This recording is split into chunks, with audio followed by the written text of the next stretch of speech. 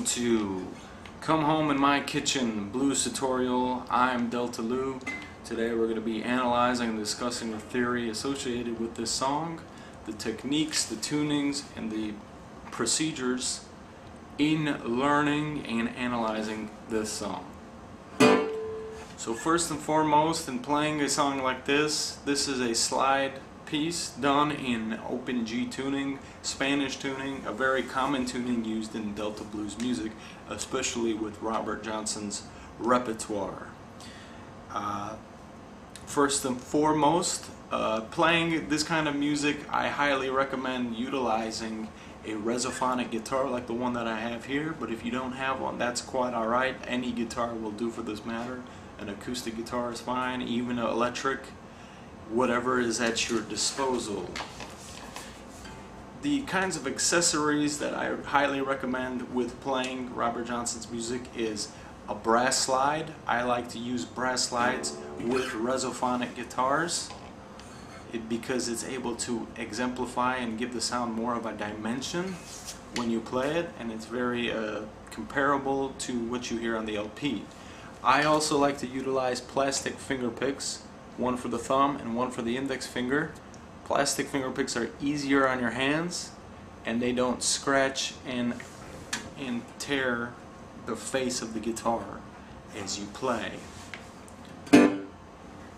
And also the last thing that I highly recommend for you to use is a capo and this is this will come in handy as you study Robert Johnson's music because Robert Johnson liked to play in very high keys. So he would be playing in a default of uh, open G tuning, but he would be playing four pitches up. So that would mean that he would be playing at, a, at about the A sharp. He would be playing in the key of A sharp. And I, you, in order to match the sound, you would have to use a capo to ultimately play along with what Robert Johnson is playing in the LP, a capo will will make you in unison as far as tone and pitch is concerned. Uh, trying to tune up the guitar to what Robert Johnson is playing in the LP will probably cause your strings to break and that's why I highly recommend utilizing a capo as you study the material. So nonetheless, in studying this song, Come On My Kitchen Blues, we're going to be playing at a default open G tuning, meaning that my top string is going to be tuned to a D note, and we're going to uh, tune up to each other by matching up our tones and pitches. So this is my top string, let's tune to each other. This is my top D string.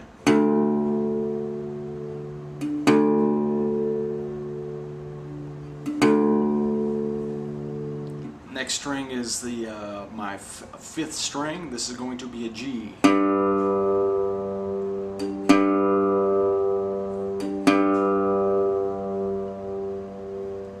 The next string is going to be a D string.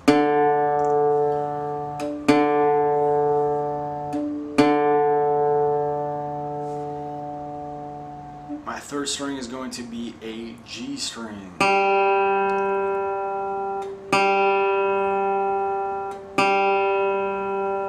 My second string is going to be a B string.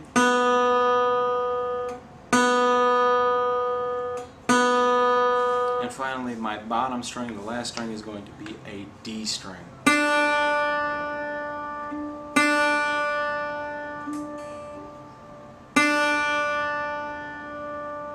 And all together is going to sound like this.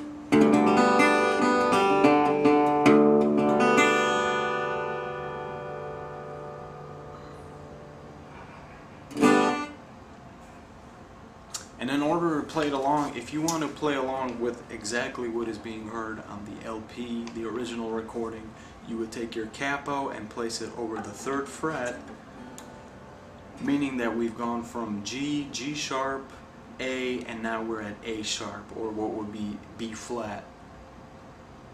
So it would be open G tuning with the capo on the third fret, and now you will be in unison and in the same tone and pitch as what Robert Johnson is playing.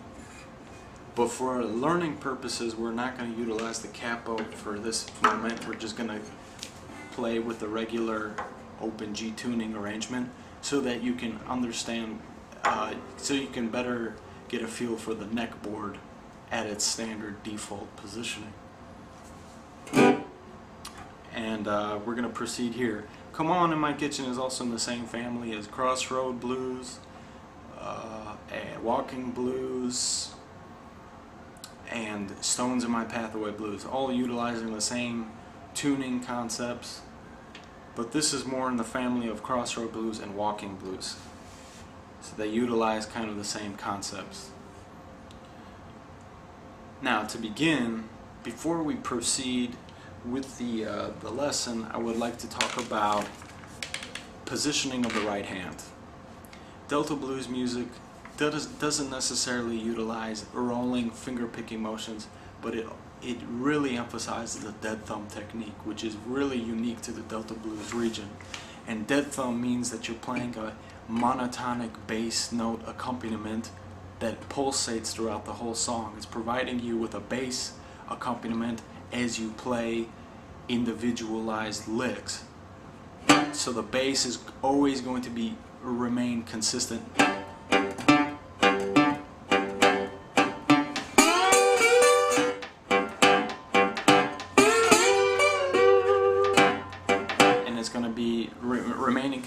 Throughout the song and I'm going to express more, I'm going to emphasize more the importance that that playing the monotonic bass note, how it will come in handy into playing this song as the lesson proceeds further on. but in doing so, the right hand arrangement should look a lot like this. You'll have your right hand draped over like this. Your, your hand is going to reach diagonally across the face in, in the middle of the neck and the bridge here, your hand is going to be positioned like this. So you're doing like this, like shadow puppet, and it's going to be plopped right here. And what you're going to do is you're going to position the palm of your right hand, the palm right here, the outside lining of your palm is going to be gently resting, hovering above the sixth string and is going to gently damp position itself like this.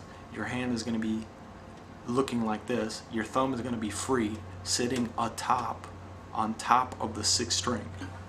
You, you gently dampen over the sixth string with your thumb free to either play individual notes on the sixth or fifth string.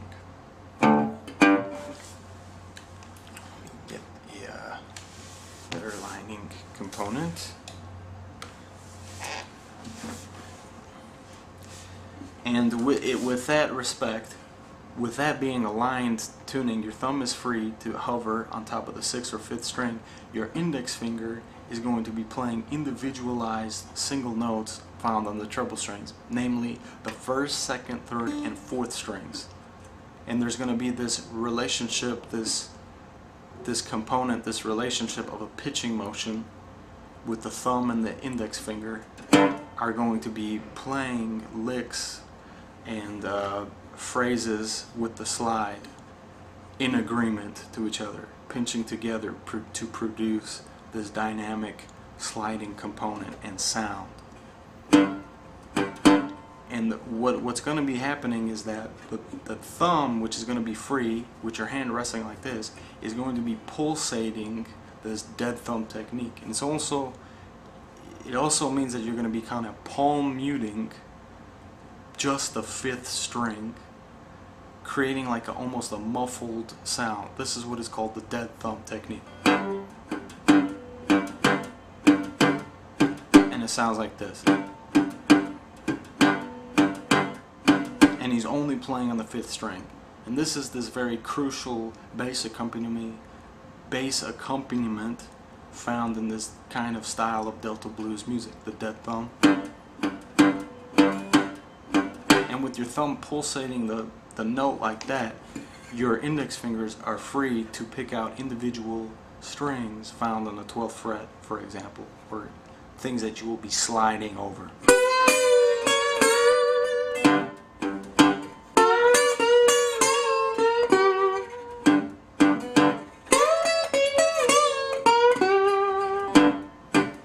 And it's imperative that the thumb keeps you in rhythm because that's the one thing a concentration that needs to be mastered in this music is playing the thumb accordingly. Playing the thumb technique accordingly I should say. So it's imperative that you do get this positioning down. And when we're going to be playing over in the, the 12th fret the index finger is going to be picking plucking out these individual strings as you slide over them. So playing on the second string.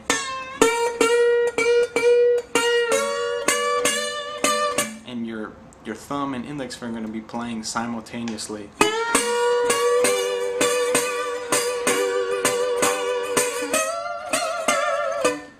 You know, something in that in that kind of pattern. But again, the thumb always going to be positioned on the sixth and fifth strings, and the thumb is always going to be pulsating the fifth string.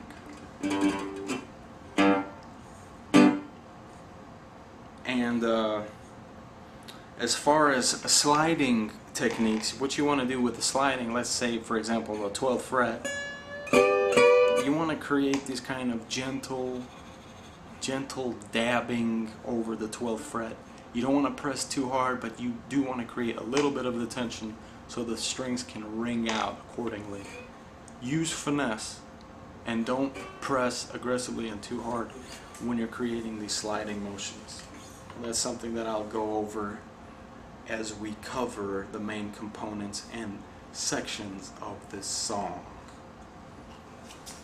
Let's take a break. Okay, now we're going to be talking about the introduction of the song which is going to be utilizing main, uh, a lot of the main components of the predominant licks that are used, uh, which are a majority of them will be on the 12th fret. And the introduction is going to sound like this. One, two, three,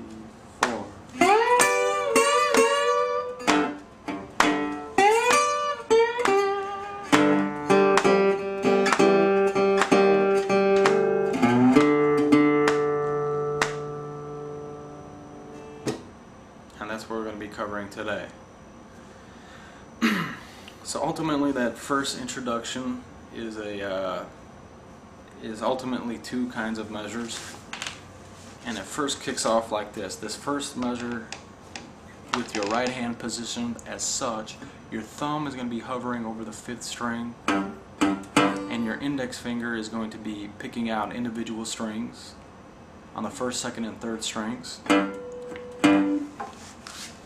and uh, and with that with that in mind, the right hand positioning, you're going to be playing this first lick, which will sound like this.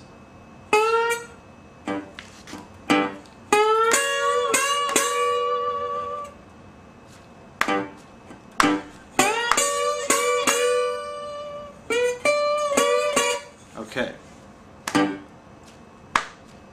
And what you want to do in this introduction is you want to kick off, you want to lead into this lick by playing this pulsating bass note, the fifth string playing one, like that. You want to lead into it like that. So when you play that, you'll gradually lead into this 12th fret, and it's going to sound like this.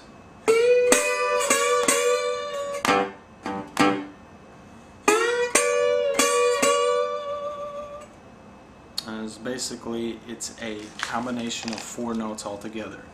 With your thumb being positioned over the fifth string on the right hand like this, your index finger is going to be picking out the individual strings as you make your slide. You're going to locate the 12th fret with your slide. You're going to be hovering over the 4th, 3rd, 2nd, and 1st strings like this with your slide. Just hovering over it like this and with your index finger you're going to be playing simultaneously this first note which is going to be on the second string 12th fret second string 12th fret. Your index finger is going to pick it out and your thumb is going to play the fifth string bass note open. And you're going to play it together like this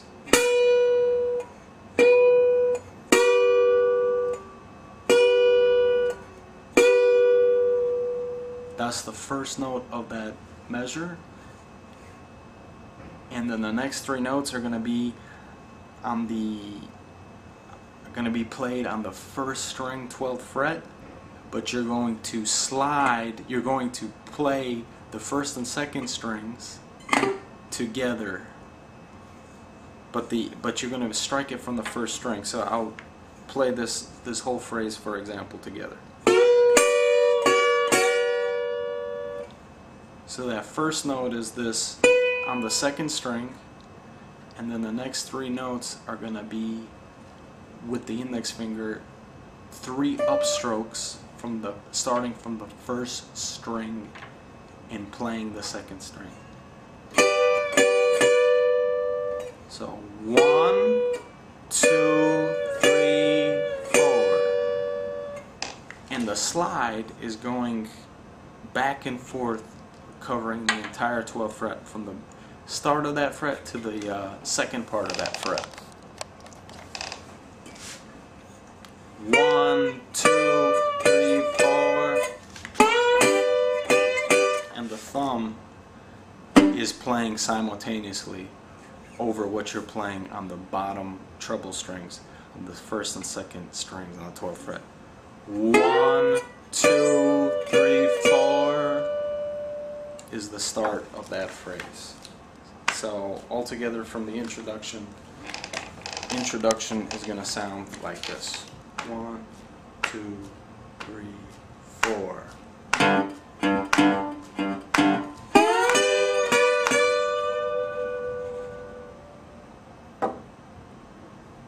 And that's pretty simple there. So we've covered that concept. One, two, three,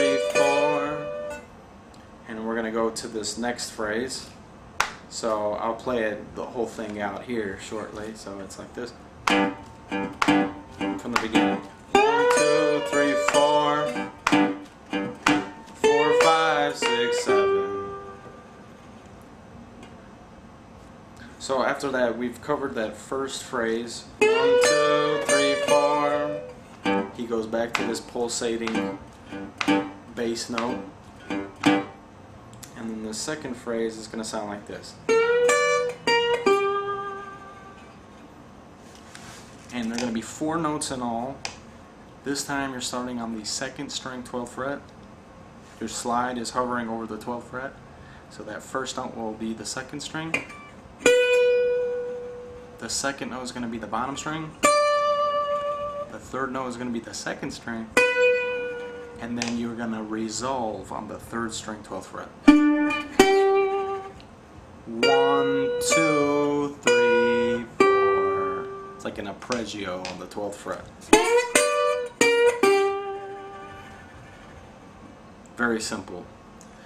And in those first two measures, he's going to be repeating those same ideas throughout the remainder of the song. So, so altogether, from the beginning, the start of this introduction, we'll start it off like this, slow. One, two,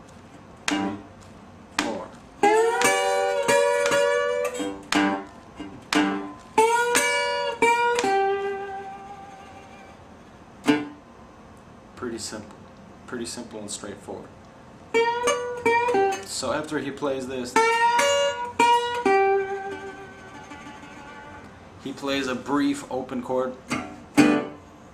One, two, three, four.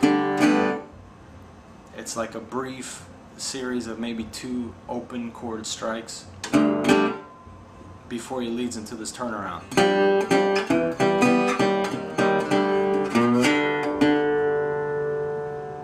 How the whole introduction is gonna uh, sound like. So, again, I'll lead it off again.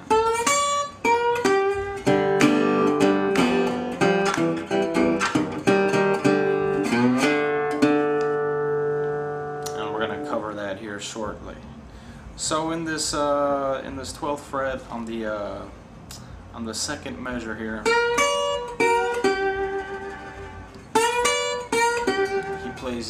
kind of two brief open chords and then he goes into this turnaround.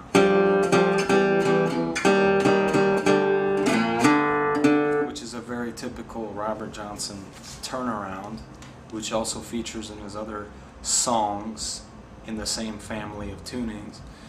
But uh, in this way, what you're going to do after you play these brief open chords, you're going to locate, you're going to be fingering. Your index finger is going to be on the top string on the third fret. Your middle finger is going to be on the fourth string on the third fret. You're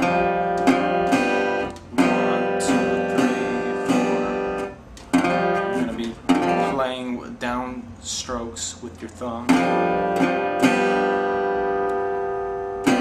So you're going to play four notes there. One,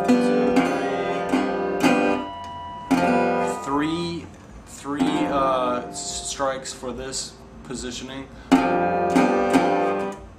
Then you're going to slide over to the second fret, maintaining the same fingering.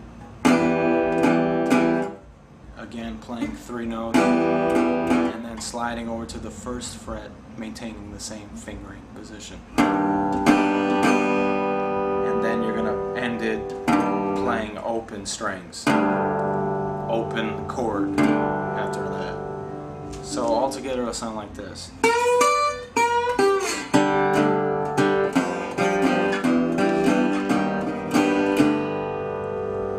A very simple concept that features in the introduction. So after he plays this turnaround,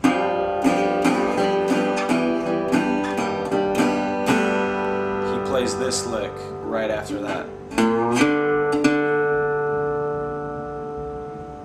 Basically what it is is locate, locating the third fret, the uh, fifth string,